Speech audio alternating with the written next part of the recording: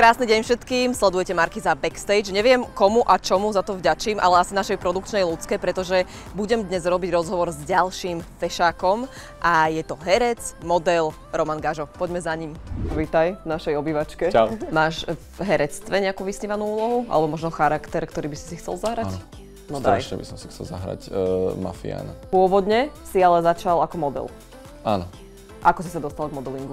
Veľmi jednoducho, bol som v divadle ako divák a počas uh, prestávky medzi dejstvami uh, ma zastavila skautka, ktorá mi navrhala, že či by som náhodou nechcel skúsiť modeling. Už si meškal aj na nakrúcanie oteckov niekedy?